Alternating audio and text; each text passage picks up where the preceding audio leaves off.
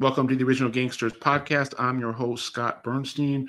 We're going to uh, keep the flow moving with our uh, power rankings, our uh, LCN power rankings. A lot of different uh, layers to this. Today, we are going to discuss fall 2024 top American LCN Mafia associates, coast to coast, um, with all the families in play. And we're going to take it 10 to 1. Uh, okay. So, uh, number 10, I got Porky Padilla from Chicago. Not a lot of people know about this guy. Uh, so I guess he'd be a sleeper as well. Um, he is a, a reputed hitman, um, a guy that uh, has a lot of sway with Albie uh, Vena, the street boss, somebody that has been around the, the Grand Avenue regime for decades and is incredibly trusted and has a lot of juice in Chicago. So Freddie Padilla, aka Porky, he is number 10. Number nine, Rex Cunningham, uh, Springfield, Massachusetts, Genovese uh, mob associate. His uncle is Mario Fiore, the oldest active made guy in the US right now at, at 100.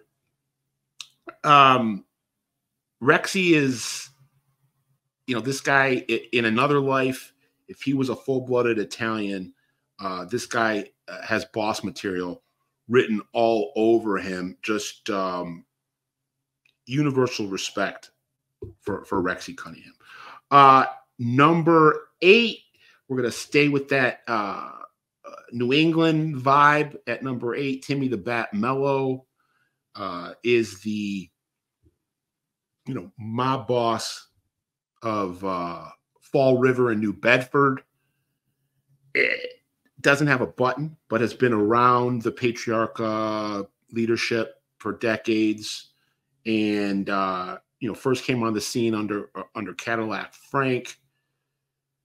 And you know the guy's a force to be reckoned with, uh, despite uh, not being an official member of LCN. Again, uh, talking about Massachusetts at I'm bad with this counting at 10, 9, 8. At number seven, Amedeo Santaniello.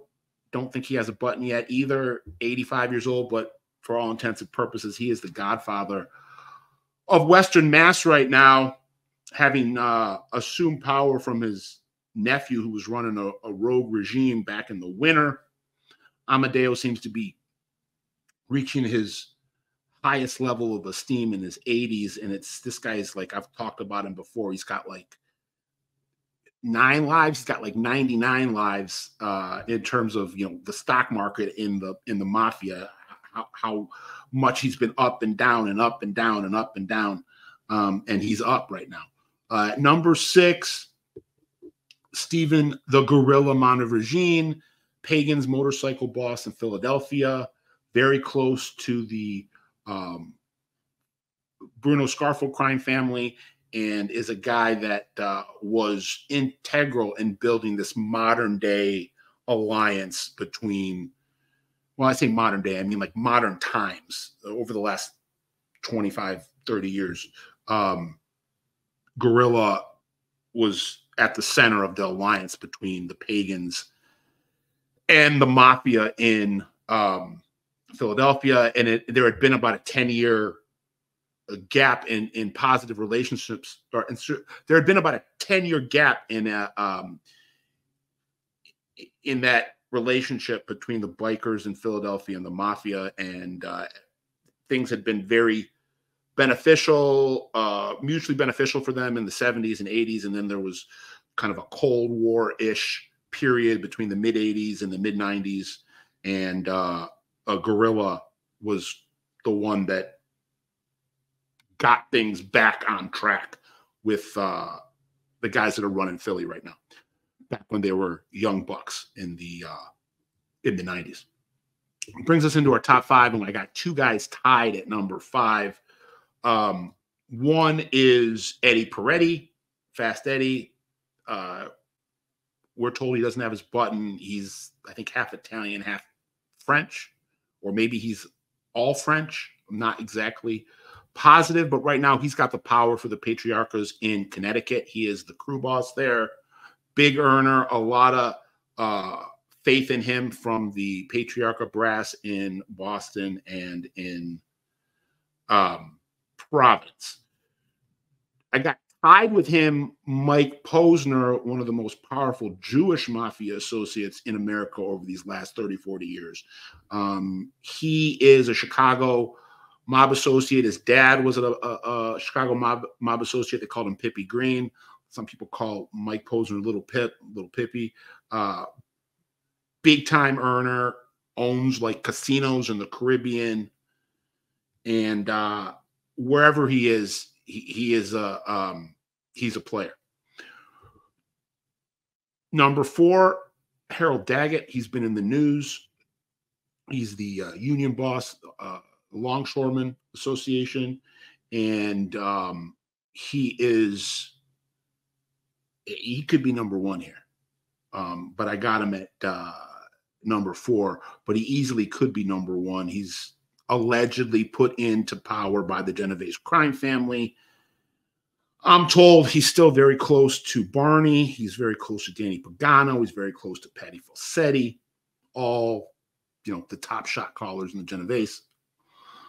Number three, another guy that could be number one, Joe Watts, Joe the German, um, probably the number one uh, traditional Italian mob associate in New York City, close to the Gotti regime, close to the uh, current Sicilian uh, era in the Gambinos, and a guy that is just the picture of, you know, uh, class, connections, um, fearlessness, cap- you know, being capable, uh, as well as making a lot of money. Brings us to our top two, and and the reason I put these guys at one and two is because of the global geo, inter, the international scope that these guys bring to the table. Number two, John um, Ehrman, aka Tommy O, the reputed Outlaws motorcycle boss, uh, international president, connected allegedly to the Buffalo Mafia.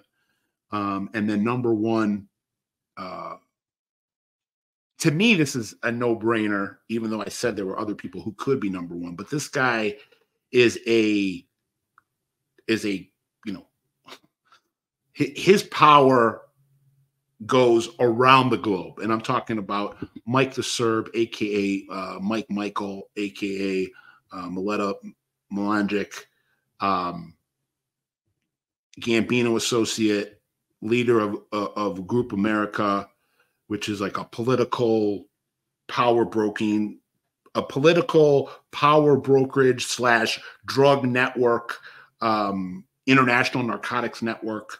Uh, he is very close to the uh, Lorenzo Mannino. He is very close to Bo Filippelli. He's very close to um, Frankie Camuso. So Mike the Serb, um, in addition to being close to the LCN guys in New York, he's close to you know political powers around the around the globe, uh, tied into the Serbian government. You know, this is this is like James Bond type shit. So Mike the Serb is number one. That's my power ranking for fall 2024 American Mob Associates. Please like, subscribe, and share the word about the OG pod. Um, check out Gangster Report, which is our companion web magazine. Check out uh, OG Patreon members only, where we do, you know, a little bit different style of videos. Not always going to be traditional organized crime. Could be some more just regular true crime, but also more analytical, more more kind of uh, exclusively, less newsy um, than the YouTube, but we're still going to be here on the YouTube giving you breaking news whenever it comes out, uh, uncovering the underworld in North America, city by city, region by region, Crime Family by Crime Family. I'm Scott Burnstein, OG Pop. Out.